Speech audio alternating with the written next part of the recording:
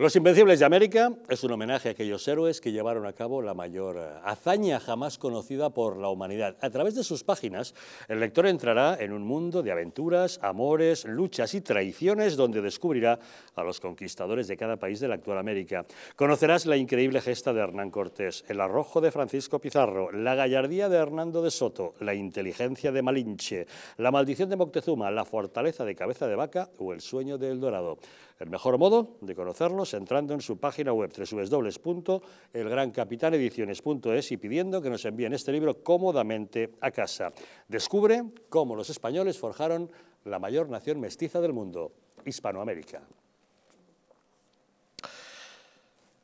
La presidenta del Parlamento de Cataluña, Laura Borras, que está a la espera de juicio, imputada por prevaricación, malversación, fraude y falsedad, y que se niega a dimitir, va a presidir mañana una cumbre en la Cámara catalana justamente contra la corrupción.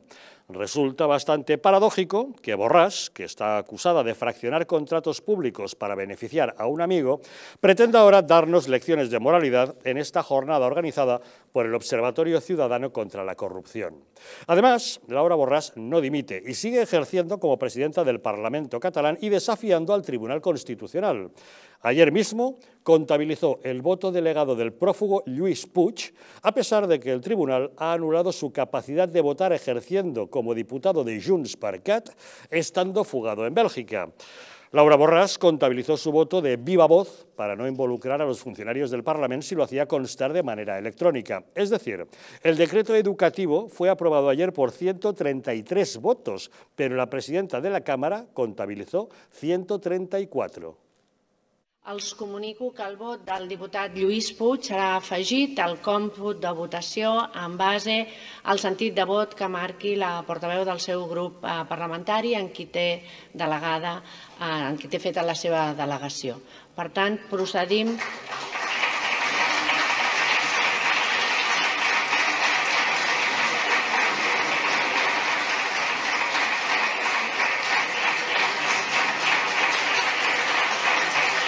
procedim. Gràcies.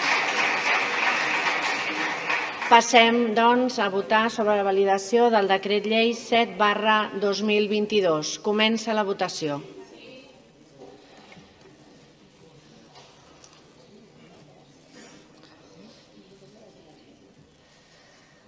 El decret llei, vist el resultat de la votació, ha estat validat amb 134 vots a favor y cap vot en contra y cap abstención.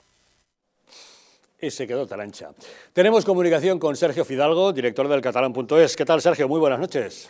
Muy buenas, muy buenas noches. Ya sabes que aquí en Cataluña ya, ya nada sorprende. Ya nada sorprende. Bueno, empecemos por el principio. ¿No es un poco paradójico eso de que una imputada por corrupción mañana nos vaya a dar lecciones de moralidad en una cumbre contra la corrupción en el Parlamento catalán? Bueno, tenemos a un, a un fugado de la justicia por intentar un golpe de Estado que está en Waterloo dando lecciones de moralidad cada día. Tenemos a un, a un montón de condenados por sedición dando lecciones de moralidad cada día. Porque Junqueras bien que no se corta eh, y se olvida de que es un condenado y un indultado de manera injusta. Es que tenemos una televisión TV3 que pagas tú, paga yo, pagamos todos, que cada día presume que es como la BBC cuando no es más que un, pozo de repropaganda y de rencor. Es que el separatismo es esto, paradojas constantes. ¿Y a qué espera Laura Borràs para dimitir? Tanto que dice que cuando hay un imputado tienen que dimitir, ella sigue, dice que no dimite y sigue disfrutando del salario más alto de la administración catalana, 155.000 euros brutos al año. ¿Me ves a mí? Pues mira, me verás a mí antes convertido en la, en digamos, en la alternativa masculina joven y bella a Rosalía antes que esta dimita. ¿Cómo va a dimitir Laura Borrás? ¿Cómo va a dimitir Laura Borrás?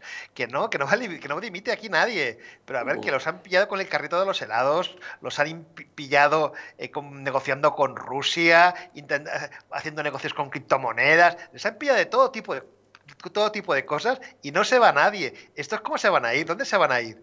¿Esto es cómo se van a ir? Lara Borras, pues oye, al, contrario, va a arrastrar a Junts al pozo. ¿Por qué? Porque nadie va a tener narices de decirle lo que tiene que decirle. Oye, oye, que te han pillado, bueno, igual eres inocente, pero bueno, eso lo decidirá un juez, pero de momento vete para no perjudicar al partido, pero no se van a ir, porque el separatismo consiste en impunidad. De hecho, todo este golpe de Estado que montaron era básicamente para conseguir impunidad. Recuerda que su gran objetivo, cuando hicieron aquel, aquel malogrado estatut, era tener la justicia para simplemente para poder hacer lo que les daba la gana. Y cuando Puigdemont dio, golpe de, dio, el golpe de Estado con las leyes que aprobó en el Parlamento en el 17, su gran objetivo era nombrar él, como presidente de la Generalitat, a los jueces. Por lo tanto, como solo quieren la impunidad, nunca se van a ir, porque nunca van a aceptar la justicia española que llaman ellos, que es una justicia democrática. Y como a ellos, al separatismo, la justicia democrática no les gusta porque les condena por sus desmanes, pues no se van.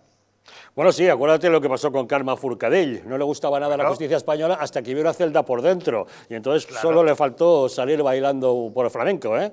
sí, que saca vuela, que saca vuela. Tremendo.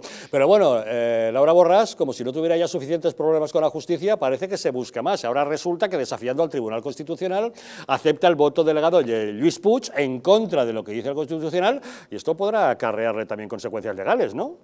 A ver, es que el separatismo ya está como el ludópata, que has perdido dos, apuestas cuatro a ver, a, ver, si, a ver si lo recuperas. Y si, si, pierdes cuatro, apuestas ocho. Ya está en una especie de huida hacia adelante diciendo, mira, como ya sabe que posiblemente acabe encausada y, y en su caso, aunque insisto, aunque sea presuntamente de momento, pero huele muy mal, ella lo que intenta es apostar, es subir la apuesta, intentar hacer ver que lo que en el fondo es un caso de corrupción es una persecución política hacia su persona, con lo cual todo acto de desobediencia a ella le irá bien, porque podrá decir que la persiguen porque fue una heroína del pueblo catalá y una heroína de la República, cuando en realidad lo que es es una persona investigada por presunta corrupción, y por lo tanto veremos muchas más de estas, porque a ella lo que le interesa es este victimario, este poder vender a los cuatro fanáticos que aún se la creen, que bueno, que ella en realidad no fue una presunta delincuente, sino lo que es una heroína de Cataluña.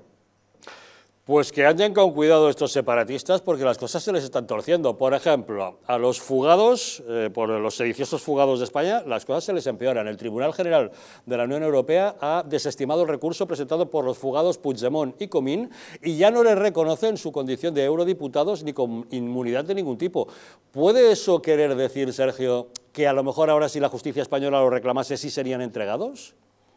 La cosa es complicada. Ahora mismo todavía no. Todavía, si, la reclaman todavía, no, posiblemente no los entreguen, pero esto indica que el procedimiento sigue avanzando. Sigue avanzando y que posiblemente pronto que tarde sí que, sí que veremos a Puigdemont ante la justicia, bueno, ante la justicia siempre que Bélgica lo permita, porque el problema es que aunque Bélgica no la reconozca, aunque el, el Tribunal de Justicia Europea no reconozca la inmunidad, mientras la justicia belga le reconozca que sus, delitos, los delitos en Bélgica, no lo, va, no lo va a extraditar. Con lo cual hay una doble jurisdicción. Lo que pasa es que, claro, ahora mismo, recuerda que Puigdemont y, los otros pueden pasarse por toda Europa. Se pueden ir a Francia, irse a Perpiñán, que es lo que ellos llaman la Cataluña Norte, que es el sur de Francia, donde gana Le Pen. Ellos dicen que es la Cataluña Norte. Claro, esos viajes que ahora se pega por toda Europa, si, si la causa tira hacia adelante, obviamente no va a poder hacerlo.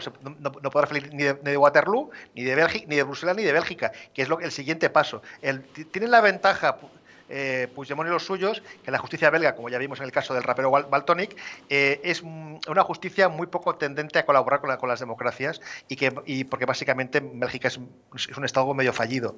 Pero bueno, que ya no pueda irse a Francia, Italia, esos pasitos que se pegan, ya sería mucho. Pero bueno, veremos. El caso es que el cerco se va estrechando sobre estos separatistas. Sergio Fidalgo, director del catalán.es, muchísimas gracias por acompañarnos un día más en Los Intocables. Al contrario, a vosotros por vuestra lucha y por apoyar la causa que vamos a ganar. Pues por supuesto que sí, ahí seguimos. Gracias, Sergio. Muy buenas noches. Hugo. Bueno, pues España es roba. España es roba, ¿eh? Por al final quienes robaban eran ellos, parece, ¿no? Bueno, em, aquí, aquí hay que dejar claro una cosa, y es que Laura Borrás, mm, porque ya estoy viendo yo argumentos independentistas, ¿no? Laura Borrás no, supuestamente, hablando, no delinquió, no, no llevó a cabo corrupción para el bienestar de la República Catalana independiente de mi casa, eh, no, sino para enriquecerse ella misma decir, para enriquecerse ella misma. Eso es supuestamente la corrupción que llevó a cabo Laura Borras. Bueno, los Puyol hicieron lo mismo. Y mira, cómo envuelven sus vergüenzas en la bandera catalana. Pero aún así, aún a pesar de ello, vemos cómo los independentistas pues siguen ahí defendiendo a eh, su corrupción, ¿no? Son corruptos, pero son nuestros corruptos. Son nuestros corruptos, ¿no? Y esa es al final el, mantra del, independentismo una vez más. Pedimos que dimita, pero ¿cómo va a dimitir? Es decir, a, pesar de que ahora eh, eh, Ada Colau pues ya está desimputada, pero en su momento estuvo imputada y ella misma puso un rasero. Y es, si algún momento estoy yo em, imputada, investigada, pues eh, dimitiré. Y ya no dimitió cuando estaba imputada, investigada, a pesar de que ahora, insisto, ya está em, desimputada. Es que el rasero lo ponen ellos es que el rasero, sinceramente, es que lo ponen ellos, ¿no? Laura Borras es un caso más, además, lo que tengo que decir es que, por favor, oye, cuando vayamos a delinquir hay que tener un poco de, de originalidad, eso de descomponer los contratos para que queden contratos menores está muy visto eso está, eso está muy visto, sinceramente. O sea, está muy visto. Entonces, mm, para, para delinquir hay que tener cierta cabeza. Entonces, que no incurran tampoco en, cuestiones tan, tan, básicas como mm, eso, insisto, descomponer un contrato para que queden contratos menores y no haga falta hacer pues, prácticamente ningún tipo de, de, cuestión legal, ¿no? Ni concurso, ni nada. O sea, está muy visto eso. Es, una desgracia, es una desgracia, eh, pero claro, como es, eh, como es independentista, pues todo se le va a permitir. No veremos ni especiales en televisión, no, no veremos, a pesar de que es la presidenta, recordemos, del Parlamento de Cataluña la presidenta, es decir, de la sede mm, política de, vamos, de los catalanes. Bueno, su antecesora, su antecesora acabó en la cárcel. Efectivamente. Es verdad. Es verdad. Ni más, ni más ni menos. La presidenta del Parlamento de Cataluña. O sea, y ahí sigue, no va a dimitir, ni, vamos, ni nadie va a exigir que dimita, ni tampoco habrá eh, pues, eh, pues ningún revuelo mediático mm, que digamos que eh, incite a, Laura Borras a dimitir, no va a pasar nada. No pasa nada, se va a olvidar, es decir, mañana hablaremos de otros temas, la actualidad continuará, hablaremos de otros temas, se olvidará de Laura Borras, mientras tanto ahí, insisto, imputada no por enriquecer la República, sino para enriquecerse a ella misma y a sus amiguetes. Esa es la cuestión. Don Luis. Bueno, yo a mí me una de las imágenes que me llaman más, la atención, que es la permanente imagen que recibimos de ahí de Cataluña, es que cuando el, eh, eh, el, plenario, digamos, un poco ha aceptado eh, las opiniones de la presidenta con respecto a las votaciones, los grupos parlamentarios, o sea, los grupos independentistas lo han recibido con aplausos. Es decir, ellos están en una permanente provocación contra España porque están en guerra contra España y contra lo español. Quiere decir que no van a obedecer o van a intentar no obedecer cualquier, eh, cualquier sentencia del Tribunal Superior de la Justicia de, Cataluña o del Tribunal Constitucional o de quien se les ponga enfrente, porque ellos así siguen alimentando el fuego de, eh, digamos un poco el fuego de, las, de, los movimientos independentistas catalanes. Y Laura Borràs, eh, eh, que esto es un tema menor, pero es un tema que tiene una, un respaldo, de, un respaldo perdón, una sentencia del Tribunal Constitucional que impide que este señor, que se llama, si no me equivoco, Lluís, Lluís no me acuerdo cómo se llamaba, el, el diputado que tenía que posiblemente, Lluís Puig, perdón, eh, que no podía votar, es, exactamente, es una excusa más para enfrentarse, para el enfrentamiento permanente con el gobierno central y con el gobierno, eh, perdón, eh, con, el, con el Estado, más que con el gobierno central, con el Estado. Pero todo, hay que recordar que por encima de todo, esta actitud que tiene esta presidenta, que está procesado, no lo olvidemos, por prevaricación, por fraude, por falsedad y por, perdón, y por falsedad en documento mercantil, eh, no podemos olvidarnos que ella en concreto, su grupo parlamentario no, pero que los grupos parlamentarios que apoyan, digamos, la presidencia de esta señora son los socios del presidente Sánchez, es decir, son Esquerra Republicana y en un momento determinado la CUP que sostiene eh, el Partido Socialista Catalán en el Ayuntamiento de, mm, eh, junto con la, señora Colau, en el Ayuntamiento de Barcelona. Entonces, eh, no nos tiene que sorprender en absoluto este tipo de actitudes, no nos, va a tener, no nos puede sorprender porque son recurrentes a lo largo de la historia reciente del enfrentamiento o del supuesto enfrentamiento que ellos quieren, los independentistas, los partidos independentistas, quieren hacer con el Estado. Y por último, yo creo que eh, eh, Borrás, en definitiva, como lo fue Puyol, es uno de los suyos y no van a poner, es decir, no, no van a querer en ningún momento ponerla en evidencia, ni van a apoyar, ni muchísimo menos que dimita esta presidenta.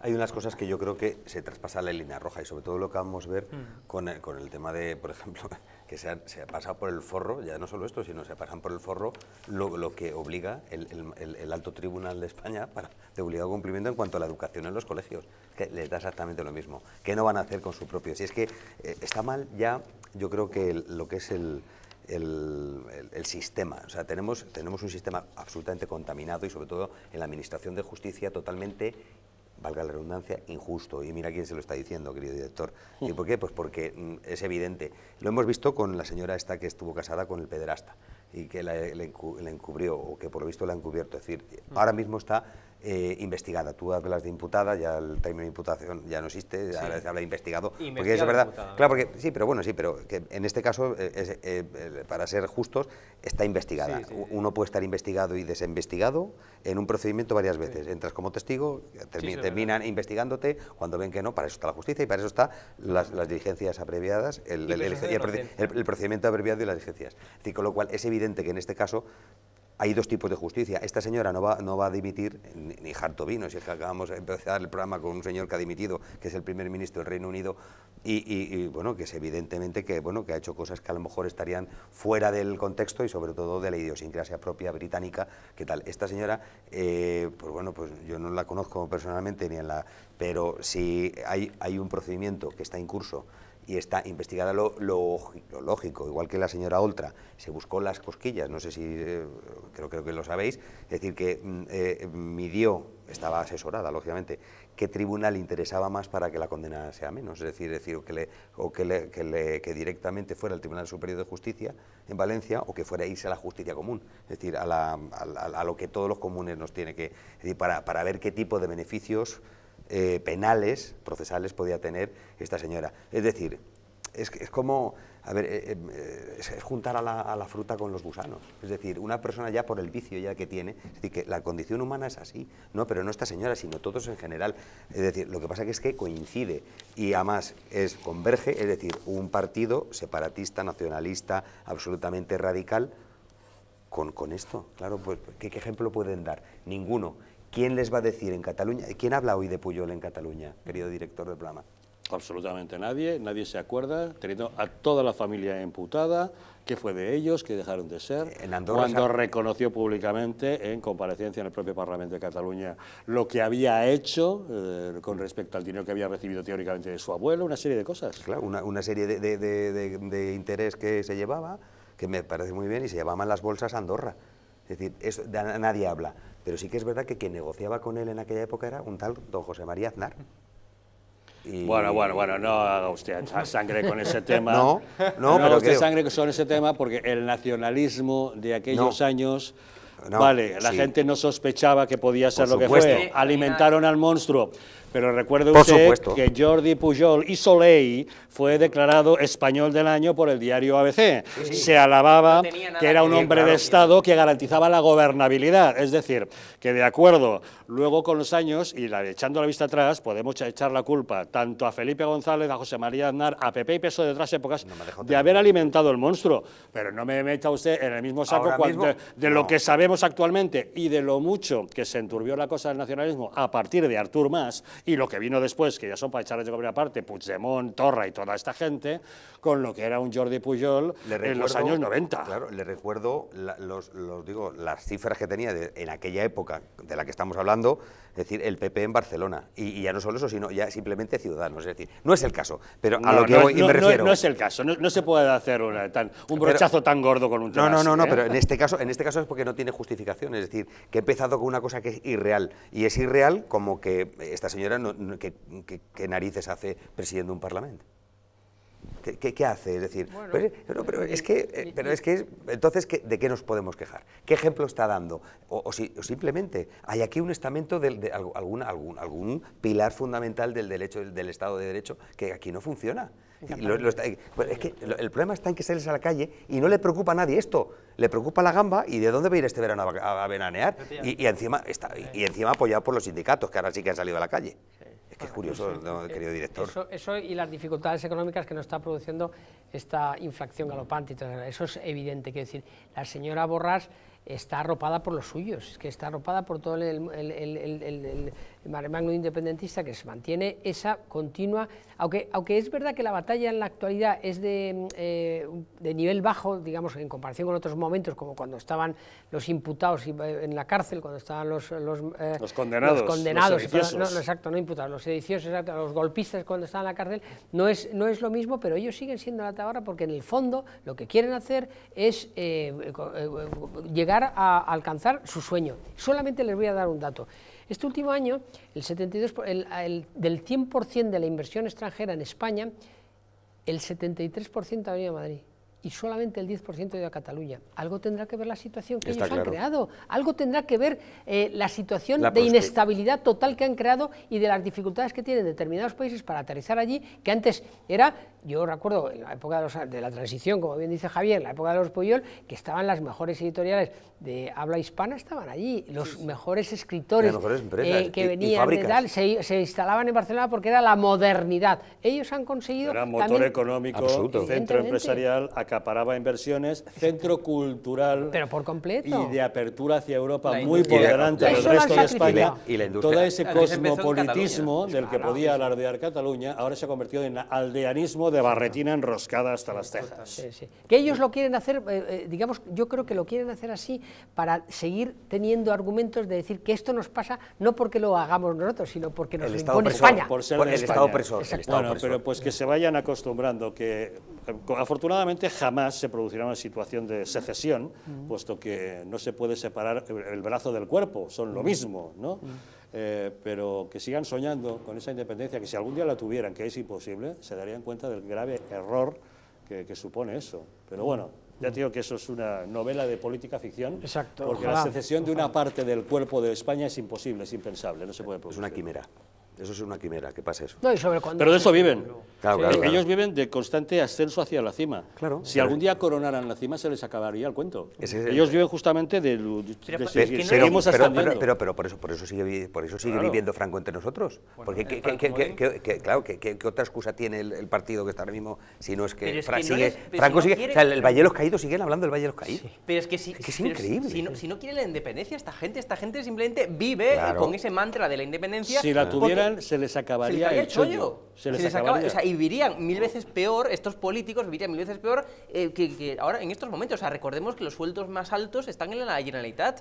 Es decir, que el sueldazo que gana, o sea, que, que gana más pasta Peragonés que no Pedro Sánchez. Bueno, el sueldo más alto de la administración catalana es el de Laura Borràs, es el de la 155.000 euros, brutos pero, al año. Eh, bueno, o el de Gabriel Rufián, es decir, 126.000 euros o más de 126.000 euros. Es decir, ¿pero qué haría esta gente si realmente fuera independiente de Cataluña? ¿Pero a dónde iban a parar estos pobres? Ellos, creen, ellos están absolutamente convencidos que se convertirían en la Dinamarca del Sur.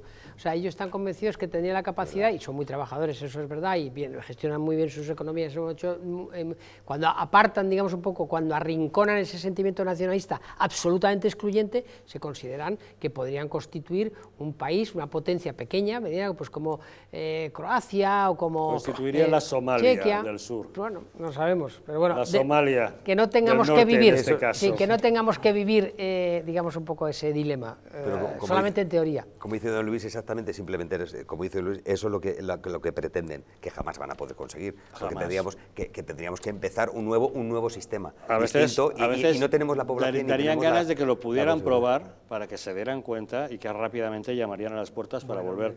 Pero bueno, no le podemos desear eso ni siquiera a, todos esos buenos españoles que viven en Cataluña sometidos a esa discriminación por parte de este régimen absolutamente excluyente y supremacista. Que por supuesto estamos con ellos. ¿eh? En fin, hacemos una pequeña pausa y volvemos. Como saben ustedes, estos días se conmemora el 25 aniversario del secuestro y asesinato de Miguel Ángel Blanco.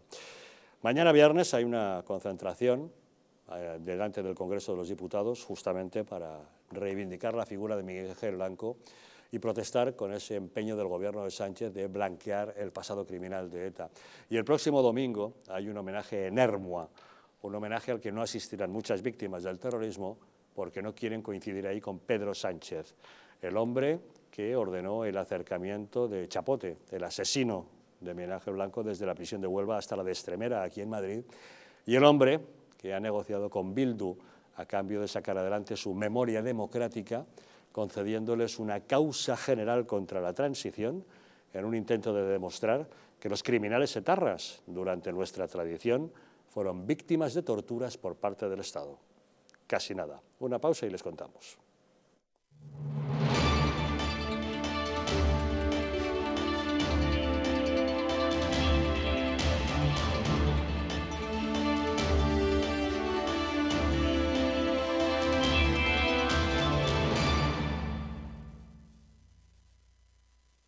Naturhaus es el mejor método para perder peso de forma saludable y sin pasar hambre. Desde la primera visita, una asesora te enseñará a cambiar tus hábitos hasta alcanzar tu peso perfecto. Lo conseguirás gracias a complementos alimenticios a base de extractos naturales y platos deliciosos. Apúntate ya en tu centro Naturhaus más cercano y online a través de naturhaus.es. Naturhaus, 30 años de experiencia en nutrición y dietética.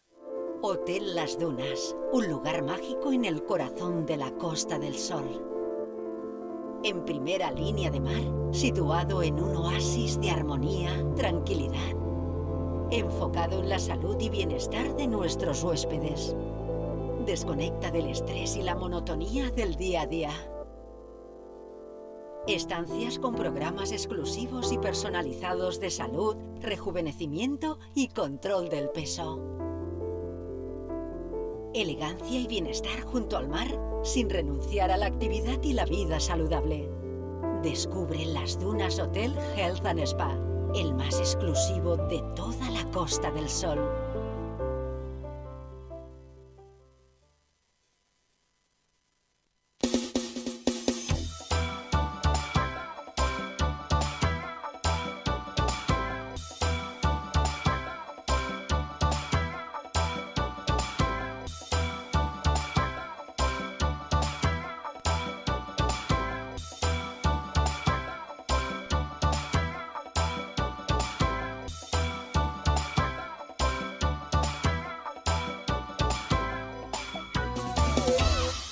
Estás a solo unas horas de que para farmaciamundonatural.es te haga llegar tu pedido con regalo incluido. Más de 25.000 productos de las principales marcas.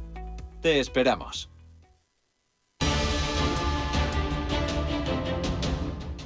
¿Estamos en un auténtico Estado democrático o estamos en una patritocracia?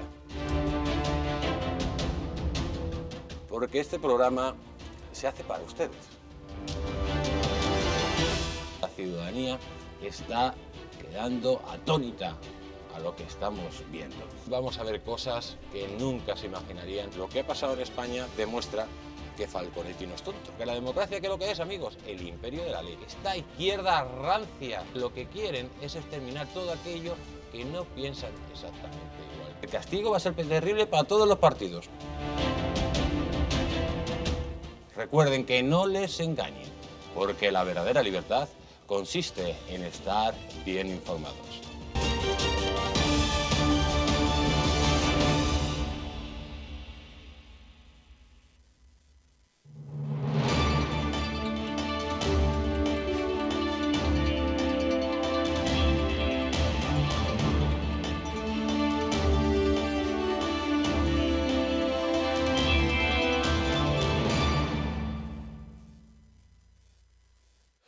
Las arrugas superficiales, la flacidez o el descolgamiento de la piel son síntomas evidentes del envejecimiento, un proceso que se acelera a partir de los 40 años al reducirse la producción de colágeno por parte de nuestro organismo.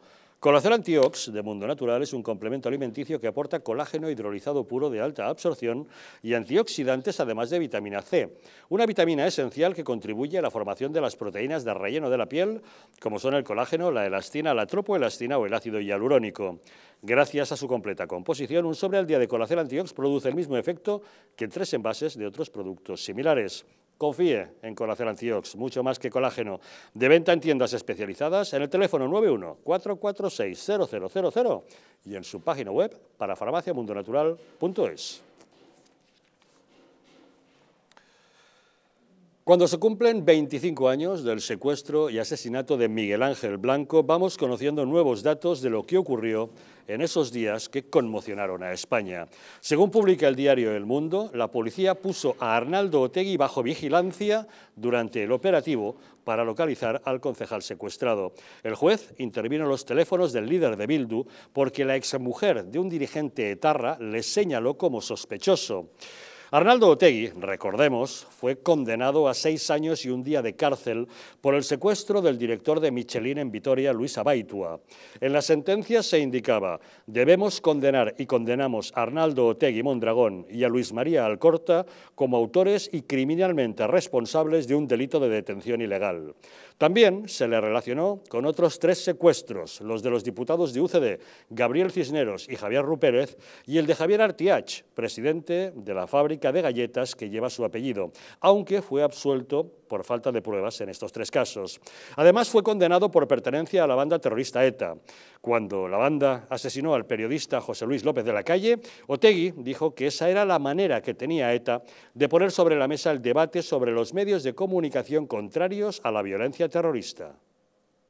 Lo que me imagino pretende es, en primer lugar, poner encima de la mesa el papel de determinados medios de comunicación, poner encima de la mesa el papel de determinados profesionales de los medios de comunicación, que a juicio de ETA, en todo caso, eh, bueno, están planteando una estrategia informativa de manipulación y de guerra en el conflicto, en el conflicto entre Euskal este próximo domingo se celebra en Hermua un homenaje en recuerdo de Miguel Ángel Blanco, un acto peculiar ya que el alcalde socialista de la localidad, Juan Carlos Abascal, vetó la participación de Marimar Blanco, la hermana del concejal asesinado, argumentando que no habría discursos de las víctimas. Finalmente, el alcalde se ha visto obligado a rectificar después de que Marimar Blanco le dirigiera una carta con copia al Lendakari y a Pedro Sánchez, pero eso sí, le ha exigido conocer el contenido del discurso antes de permitirle que lo pronuncie. Muchas asociaciones de víctimas no asistirán al acto porque no quieren compartir homenaje con Pedro Sánchez, el presidente que autorizó el acercamiento de Chapote, el asesino del concejal, desde la prisión de Huelva y que ha pactado con Bildu, el partido que dirige Arnaldo Otegui, una ley de memoria democrática que pretende blanquear el pasado criminal de ETA. La propia Marimar Blanco ha recordado estos días que su hermano fue asesinado porque el gobierno de Aznar no se plegó a las exigencias de los terroristas y se negó a acercar a los presos de la banda a cárceles más próximas al País Vasco. Sin embargo, ahora el gobierno hace todo tipo de concesiones a los bildutarras y que ahora, bueno, pues que se han olvidado de, cuál era el posicionamiento eh, unitario, tanto desde el punto de vista político y social hace 25 años, y porque ahora se está cediendo con los, con los presos terroristas cuando ni ha mostrado arrepentimiento ni colaboración con la justicia, todo lo contrario. Por ejemplo, los asesinos de mi hermano han sido acercados de las cárceles de, de Huelva, desgraciadamente los tengo aquí conviviendo territorio que están en la comunidad de, de, Madrid y ni arrepentimiento, ni colaboración con la justicia, ni petición de perdón a, a las víctimas, ni mucho, ni mucho menos, porque ellos lo que muestran es continuamente orgullo de, de haber asesinado a mi hermano y a otras tantas a otras tantas personas inocentes. Tenemos comunicación con nuestro analista Alex Navajas. ¿Qué tal, Alex? Muy buenas noches. ¿Qué tal, Javier? Buenas noches. Bueno, ¿qué te parece eso de que Pedro Sánchez participe, presida junto al rey un acto de homenaje a Miguel Ángel Blanco Siendo él el presidente que ha ordenado el acercamiento de Chapote, el pistolero que le pegó dos tiros en la cabeza a Miguel Ángel, y siendo él el presidente que ha pactado con Bildu esa memoria democrática a cambio de abrir una causa general contra la transición, argumentando que era una época en la que los asesinos de ETA eran torturados por el Estado. Bueno, ellos lo llaman cabalgar nuestras propias contradicciones, ¿no? Es muy interesante ver cómo la izquierda, muchas veces cuando sus dirigentes dicen una cosa y al cabo de los meses, años o días incluso dicen exactamente lo contrario, ellos lo justifican, pues eso, con esa especie de perífrasis verbal que es eh, hay que cabalgar las contradicciones. Es decir, que puedes decir una cosa y exactamente la contraria después y no pasa absolutamente nada. Eh, al señor Sánchez, al doctor Sánchez, habría que recordarle aquello de cuántas veces quiere que le diga que no voy a pactar con Bildu. ¿Cinco veces? Pues yo se lo digo cinco veces. Bueno, pues ahora habría que decirle no cinco veces, sino quinientas, que eso es una de sus nuevas mentiras, fue una de sus mentiras, la de pactar con, con Bildu. Lo que pasa es que en esta foto están siendo muchos los retratados, ¿no? Con el tema del, con el tema del, del terrorismo de, de ETA. Claro, aquí hay una cosa perversa para huir lo que, como ellos llaman, del discurso de, vencedores y vencidos, porque eso pues parece que crispa a algunos, etcétera, etcétera. Claro, ellos quieren hacer un relato, eh, y el propio Arnaldo Tegui lo ha dicho así en numerosas ocasiones, donde, bueno, todos hemos sufrido, todos lo hemos pasado mal, todos hemos cometido errores, todos hemos sido torturados y por eso hay que reconciliarse. No, no, no, vamos a ver, vamos a ver, señor Arnaldo Otegui y demás atláteres, palmeros y, en fin, y comparsas. Aquí ha habido unos que han sufrido, que son las víctimas de ETA y en general toda la sociedad española y muy especialmente la sociedad vasca. No solamente las víctimas, por supuesto, en primer lugar, sino también los centenares de miles de vascos que han tenido que huir del País Vasco, de su tierra, por parte o por culpa de esta panda de, asesinos intolerantes. ¿no? Con lo cual aquí no es que haya eh, un sufrimiento compartido. Hombre, ha sido lo típico cuando tienes dos niños que se han peleado y quieres, quieres acabar rápido la cosa. Bueno, venga, haced las paces y ya está. No, no, no, no. Aquí hay un culpable claro y una víctima clara. Y entonces, Claro, cuando estamos viendo al señor Sánchez eh, contemporizar con unos y con otros, cuando estamos viendo ayer, por ejemplo, Alvise subía una, una foto interesante donde salía Pachi López hace unos años portando el féretro de un compañero suyo socialista asesinado, con cara de compunción, con cara de dolor, y ahora recientemente pues en una reunión con Bildu sonriendo estupendamente pues por todos los pactos que están llevando a cabo, ¿no? Yo me pregunto, esos asesinados socialistas, si se estarán revolviendo en la tumba al ver que, sus supuestos compañeros de partido pactan con los que les pegaron el tiro en la, nuca o les pusieron una bomba lapa en el coche. ¿no? ¿Qué te parece, Alex, que el alcalde socialista de Hermua haya intentado impedir que Marimar Blanco pudiese hablar en el homenaje a su hermano? A mí me parece que miente. Aparte de que es un tema absolutamente deleznable, es que miente. Porque si primero dice la excusa, no, no, no va a hablar ninguna víctima, ¿de acuerdo? ¿Vale? Es un criterio. Después, eh, por la presión, dice, bueno, de acuerdo, Marimar Blanco puede hablar, pero traiga aquí antes el texto. Entonces, ¿en qué quedamos? O sea, se está poniendo en evidencia que lo que no quiere, evidentemente, o lo que quiere es tener absolutamente controlado el mensaje que se va a dar. Pero eh, tampoco nos engañemos, esto no parte no es una iniciativa de este alcalde socialista de Hermoa, que es eh, el último titiritero en toda esta función. Esto evidentemente viene de más arriba, donde hay unas indicaciones claras que se dice que no hable eh, Marimar Blanco, que no hablen las víctimas. Vamos a tratar de hacer un acto, bueno, pues lo más conciliador, lo más aguadito, lo más dulzón, donde no haya líneas rojas claras entre, eh, entre asesinos y asesinados, sino, bueno, pues ese discurso oye, mira, la transición fueron momentos muy difíciles, todo el mundo cometió errores, eh, pero ahora lo importante es eh, terminar de, arreglar esta transición. Eh, esto es una basura, es una basura, porque bajo una apariencia de, concordia, de diálogo, etcétera, etcétera, lo que se está infiltrando es una mentira vomitiva, vomitiva por parte de aquellos que estaban asesinando. Y era realmente bochornoso, creo que fue ayer, cuando el expresidente Zapatero, de, infame memoria, eh, decía, es que de nuevo una contradicción, no, no, no, si no estamos en contra de la transición, pero hay que matizarla. O sea, no estamos en contra, pero sí estamos en contra. Es decir, parte de sus mentiras les da absolutamente igual una cosa o la otra. A ellos lo que les importa es el momento presente y asegurar su puesto. El resto les importa un pimiento. ¿Y qué opinas de aquellos que consideran a Arnaldo Otegui un hombre de paz cuando sabemos que este ha sido condenado por secuestro, condenado por pertenencia a banda armada y que, según hemos sabido hoy, tal como lo publica El Mundo, cuando secuestraron a Miguel Ángel Blanco, un juez puso a la policía a espiarle porque el propio entorno de Tarra le señalaba como sospechoso del secuestro? Me parecen de nuevo unos infames y unos falsos infames, porque evidentemente están sencillamente tratando de hacer malabarismos con cosas con las que no se puede jugar, y después eh, unos mentirosos, porque, hombre, quiero decir, llamar hombre de paz a una persona que es evidente. Mira, yo, yo, Javier, le diría de verdad a las personas de sensibilidad, de izquierdas que nos puedan estar viendo, que dejen de juzgar las palabras y que vayan más allá, que juzguen los hechos. Cada uno puede tener la opción política que quiera, es perfectamente legítimo. Pero no nos dejemos engañar. Es decir, a mí me da igual que un político sea de izquierdas o de derechas, me da igual las palabras que digan. Lo que es importante son los hechos.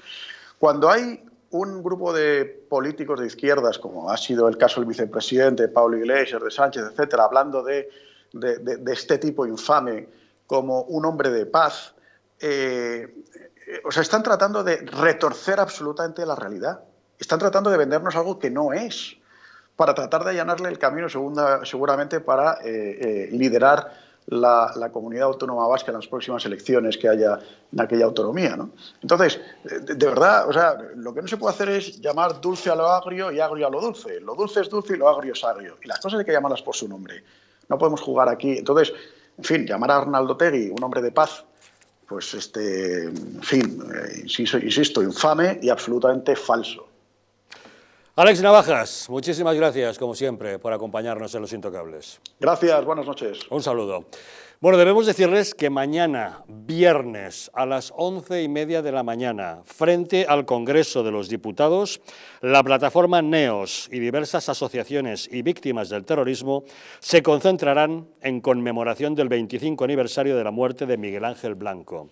José Antonio Ortega Lara y María Sangil leerán el manifiesto por la afrenta del Gobierno a la memoria y dignidad de las víctimas al tratar de blanquear el pasado criminal de ETA. Mañana, viernes, a las once y media de la mañana, frente al Congreso de los Diputados. Don Fernando. Eh, es que creo que huelga decir, sobre todo por la situación que tenemos que tragar. Ya no, ya no es cuestión de, de poner, yo creo que lo ha definido antes usted y yo creo que el, periodista interviniente don Alex Navaja creo que lo ha dicho también muy bien. ¿no? Es, tal desfachatez, es absolutamente tan, tan, tan injusto y sobre todo lo que estamos viviendo que, mm, que todavía tengamos que 357 casos, creo que son, o 350 y tantos, que todavía están sin juzgar. O sea, que están absolutamente... O sea, pero ¿quién se creen esto, estos, estos sinvergüenzas que son, sobre todo la, parte del gobierno que les ha facultado para poder estar ahí y tener esa desfachatez? Esa desfachatez tan grande con, con, con, una cosa tan sumamente que es una lacra y que hemos tenido y que de momento siguen estando, es decir, aunque están callados, siguen estando ahí eh, verdaderos terroristas que han sido terroristas, ¿no?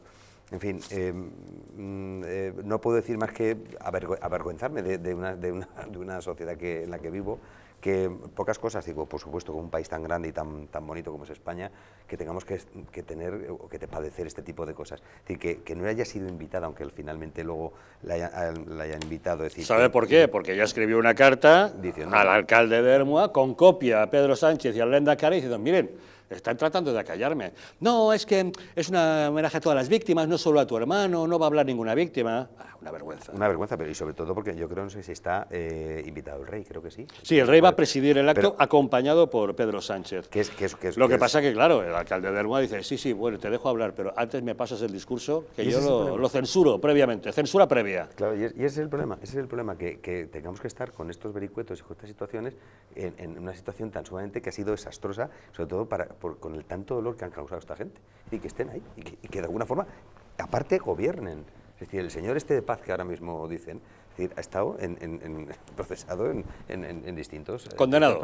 No, no, y procesado en otros. Es decir, que procesado en otros, que se da por hecho su participación, aunque no haya podido ser demostrado. Y, condenados, como bien ha dicho usted, director. Pero, pero en el caso de decir que, mm, eh, creo que era la palabra de Zapatero ayer, o del, del, del es que de verdad se me revuelve el estómago, de José Luis Rodríguez Zapatero, diciendo, avalando esa postura, es decir, que, que, ha sido un hombre de paz, que ha colaborado para erradicar la, la, tratar de, de equiparar el, problema vasco a, llegar a una solución, una entente cordial con el... Bueno, unas cosas que es que es alucinante. El propio, eh, el, inventor de las cunetas, o sea, el descubridor, de, el, descubridor de la mano derecha, lógicamente, del gobierno eh, castrista de, Venezuela y demás, es decir, un verdadero dislate. Y ahora, con esto, pues me parece que... Mm, horriblemente mal. Eh, creo que también Vox se ha pronunciado, el primer, primero que dijeron que tampoco, por supuesto, iban a asistir es decir, Santiago Bascal, que menos, es decir, que sobre todo pues, han sido los primeros que siempre se han, se han opuesto a esto, este, el, grupo parlamentario, con lo cual, querido Javier, me parece una, una, auténtica locura que todavía tengamos que estar hablando de gente que, que, tiene delito de sangre encima esté en mitad de la política y en el gobierno en España.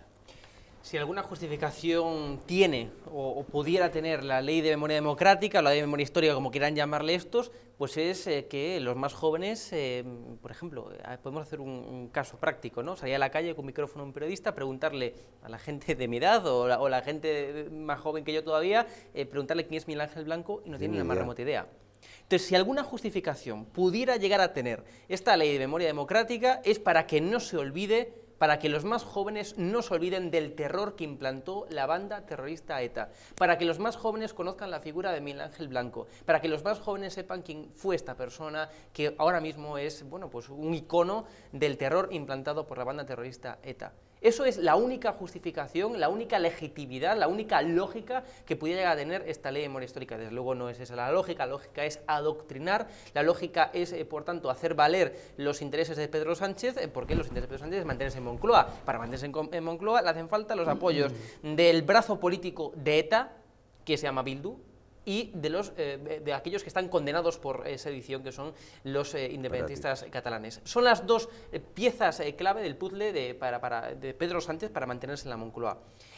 Y yo no entiendo, sinceramente, cómo se puede tener tanta cara dura, tanta maldad, para un día pactar la ley de, de, memoria democrática, para permitir, mejor dicho, que el relato histórico lo escriba Bildu, lo escriba Bildu, y al día siguiente estar en el acto eh, en conmemoración de las víctimas de la banda terrorista ETA.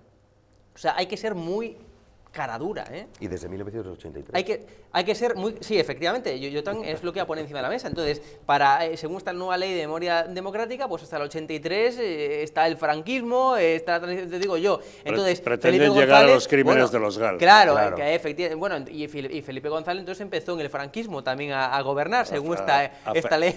A Felipe González no le ha hecho ninguna gracia. Hombre, ¿qué, gracia le va a hacer? que le diga, causa que, llega hasta el 83. Pero, pero ¿qué gracia le va a hacer que, que estén, que estén diciendo que Felipe González gobernó España durante el franquismo. Tenga usted en cuenta que ya tuvo en la cárcel al ministro de Interior, José Barrio Nuevo, al secretario de Estado de Seguridad, Rafael Vera, a una serie de altísimos cargos del Partido Socialista de la época, y él se salvó por los pelos porque bien que le señalaban como el señor X. yo me, yo me, efectivamente, yo me quedo con las palabras de Leguina. Y eh, yo me quedo con las palabras de Leguina, yo me quedo con las eh, palabras de Felipe González, yo me quedo con las palabras, en fin, de los históricos del eh, Partido Socialista, que en ese momento sí que era Partido Socialista, no Partido Sanchista, como es, como es ahora, y que, bueno, pues a pesar de que yo no coincido lógicamente, sobre todo en, términos económicos, ni con Felipe González, ni con Leguina, ni con los socialistas, pero sí que coincido en la lógica de decir que esta ley de memoria democrática es una aberración. Es una aberración hacia la democracia, precisamente, es una aberración hacia la memoria y es una, es una aberración, en fin,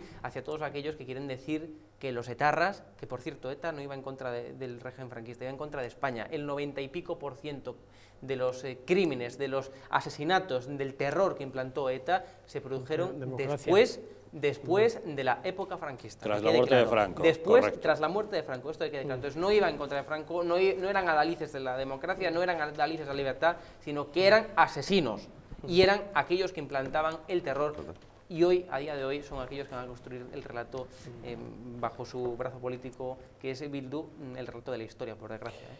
Bueno, hoy, hoy eh, Miguel Ángel Blanco tendría 54 años, probablemente tendría hijos, Probablemente, a lo mejor incluso tendría algún nieto que saliera de la guardería y se le echase en sus brazos, tendría una profesión ejercida porque él era economista o que estaba trabajando de albañil que hubiera consolidado en un entorno difícil, pero en un entorno que era el suyo, eh, tendría habría enterrado a sus padres, pero los habría disfrutado durante años, tendría a su hermana, eh, etcétera, etcétera. Y eso todo se lo arrebataron los tipos que antecedieron a los socios del señor Sánchez y han firmado este acuerdo para llevar a, cabo esta ley de memoria histórica. Es absolutamente indignante.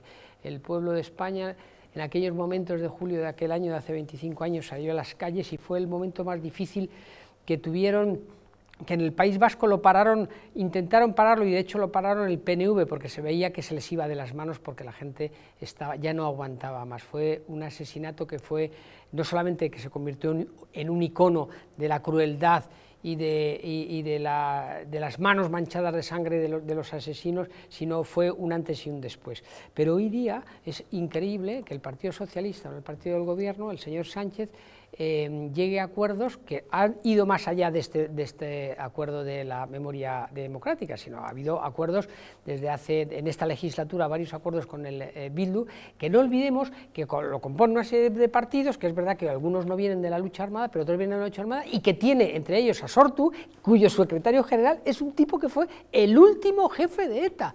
El último jefe de señor Pla. Entonces, es absolutamente asombroso. Y luego ya, no quiero decir lo del señor Otegui. El señor Otegui es un personaje delegnable em, que em, se ha convertido, por palabras de, primeramente del señor Zapatero, em, que el señor Zapatero, o sea, perdón, el señor Sánchez está haciendo lo que el señor Zapatero como presidente no se atrevió a hacer o no pudo hacer porque no tenía, digamos, un poco la justificación de tener un gobierno de coalición con, el, eh, con, los, con la extrema izquierda, pero que probablemente lo hubiera querido hacer. y el, el señor Otegui, que es nombrado eh, hombre de paz, por, primeramente por palabras del señor Zapatero y posteriormente reubiquado por eh, Pablo Iglesias y otros personajes de este estilo, es un personaje absolutamente delegnable, que en el año 2012, con todo el cinismo del mundo, dijo, dijo palabras así, expresó sus más sinceras disculpas en el año 2012 a las víctimas de ETA, afirmando que sentía de corazón haber añadido un ápice de dolor, sufrimiento o humillación a las familias de las, víctimas. Este individuo que secuestró en, el año 70 y, en el año 79 al señor eh, Abaitúa, que le metió en una cueva y que gracias a Dios vivió, porque le tuvieron 10 días ahí secuestrado y que afortunadamente vivió, que le podían haber matado, exactamente igual eh, matado, y que ha justificado permanentemente y que, y que su partido o miembros de su partido han apoyado, apoyan y celebran el de los escarcelamientos que hacen esta panda de eh, asesinos eh, increíbles. Y por último, este sujeto, esta coalición de gobierno, eh, del País Vasco tiene en las últimas elecciones 277.000 votos de vascos y vascas que le apoyan. Está a menos de, bueno, un poquito más de 100.000 votos del partido hegemónico del País Vasco, que es el PNV. Quiero decir que en cualquier momento, como sostenía Javier hace un rato, podemos encontrarnos con que este personaje puede ser el Lendakari. O sea, es inconcebible que esto suceda y que lo podamos permitir. Y sucede, entre otras cosas, por la, las, eh, porque gracias a la acción de estos individuos se exiliaron más de 200.000 vascos, que no votarían jamás a este individuo si siguieran en su tierra. es decir, de, 200.000 eh, vascos que tuvieron que salir allí porque estaban amenazados de muerte, por personajes como este. Y, yo voy a formular una pregunta. ¿Y qué, narices hace el presidente del gobierno haciéndose fotos en el Zulo donde estuvo Regalara? ¿Con qué fin? ¿Para qué se hace fotos allí? ¿Para qué va? Porque usa... usa... No, escucha, no, pero es que es curioso. pero luego faculta. Date cuenta que, que, o sea, ¿qué tendrá en la mente este señor que vive en Moncloa? Para, para ¿no os acordáis, no? Que, que, fue expresamente, eh, además salió y fue muy criticado, decir, ¿y qué hace, qué, qué, narices hace usted? O sea, pero ¿por qué fue? ¿Por morbo? Por, por, saber, por regocijarse? Propaganda. Me encantaría... Las víctimas de ETA, no, pero incluso hasta, hasta para beneficio partidista y beneficio personal, para hacer propaganda. Pero el mismo. Eso que achacan permanentemente al PP. Perdona, solamente un inciso y un recordatorio de lo que se ha vivido en este país y no hace muchos años. Y vuelvo a repetir, gente que sostiene a un partido como este y que, eh, eh, eh, digamos, vota, no vota, sino que tiene que el presidente Sánchez se escuda en él para llevar adelante a cabo determinadas leyes. El señor Miguel Ángel Blanco no está enterrado en el País Vasco porque le tuvieron que llevar fuera del País Vasco porque, vandalizaban la tumba. Permanentemente vandalizaban su tumba. Está enterrado en Galicia. Esos son estos personajes. Esos son los votantes de estos hijos de, estos canallas. Estos son eh, los tipos que sostienen a Bildu, a Bildu, eh, perdón, y al señor Otegui que pacta con el presidente de gobierno de España. Presidente, ¿no? es alucinante y sobre todo crear e incitar al odio, es decir, de, de manera continua. Antes hacía referencia, querido Luis, a, la cantidad de gente y de vascos que, que, bueno, pues que han tenido que salir y dejar sus hogares, dejar su tierra por, por, problemas, ¿eh? porque era imposible, insostenible. Y, una, y, una, cosa precisa, y, no voy a simplemente hacer una, una alusión, es decir, eh, Santiago Abascal sabe perfectamente lo que se vive y lo que ha vivido pueblos como el de él, donde ha estado, y situaciones así. Es decir, eh, la cosa absoluto a su familia, el cosa absoluto es tener que estar continuamente con guardaespaldas o llevando o portando arma. Pero si incluso a día de hoy, que esto la gente cree, no es que eh, años atrás, mira, yo eh, siempre lo comento, hace dos años fui a cubrir los Paguna, esta fiesta del odio contra la, Guardia Civil en, Navarra, en Alsasua concretamente, y yo tuve que ir con tres guardias civiles de escolta, que me los puso, por cierto, la subdelegación del gobierno la subdelegación del gobierno, o sea, el gobierno de Pedro Sánchez me puso tres guardias civiles, pues me dijo, eh, si tú vas a hacer un reportaje con tu cámara y tal, eh, ahí, vamos, es decir, mm, insultos sería lo mínimo. Bueno, pues yo tuve que ir con tres guardias civiles, vamos, no, no vuelvo al Sasua porque es un puñetero coñazo, un puñetero coñazo ir con escolta. Si los propios guardias civiles cuando están francos de servicio y van con sus novias son apaleados, imagínate. Pues, ¿Qué, iba a ser de usted, pobre periodista, con su camarita? Pues la, efectivamente, pues la subdelegación del gobierno nos tuvo que poner al equipo con el que iba, a mí también, eh, pues tres escoltas de Guardia Civil. Hace dos años, eh, no estoy hablando de hace 50, no, hace dos años esto ocurrió en Alsasua. Eh, en cada esquina, bueno, hijo de puta fue lo mínimo que yo escuché, refiriéndose a mí. Hijo de puta, para adelante. Eh, incluso recuerdo, estábamos haciendo una grabación y, el, y el, precisamente el local, eh, el bar en donde, mm, vamos, pegaron esos guardias civiles en, en, Alsasua, empezaron a poner una música a, todo trapo, ¿no? intentando cortar y coartar nuestra, nuestra grabación, nuestro, reportaje, y vamos, estaba, estaba en, euskera, ¿no? En vasco la, la, canción, pero vamos, de hijo de puta para arriba también. O sea, esto, insisto, hace dos años, ¿eh? Hace dos años. La libertad. Viva la libertad, ¿eh? En fin, señores.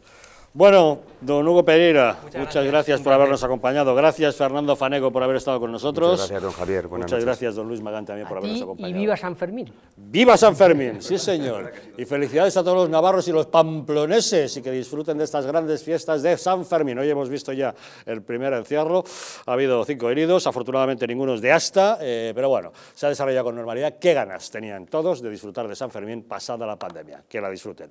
Nosotros nos vamos, pero, hey, cuidado, que nos dejamos con la película. Esta noche, El Barón Rojo, una película bélica que narra las eh, peripecias y aventuras de Manfred von Richthofen, el famoso piloto de caza de la Primera Guerra Mundial, desde que empieza su entrenamiento como piloto hasta que se convierte en el mítico Barón Rojo, despertando los recelos y las envidias de sus propios compañeros de, la unidad del ejército aéreo del, del Reich. Resulta que el propio Hermann Goering le envidiaba. El caso es que se convirtió tan famoso debido a su hazañas que un piloto canadiense de la Royal Air Force se obsesionó con él y quería enfrentarse con él en combate a ver si conseguía derribarle. Que disfruten de la película, que nosotros los esperamos nuevamente mañana aquí, en Los Intocables.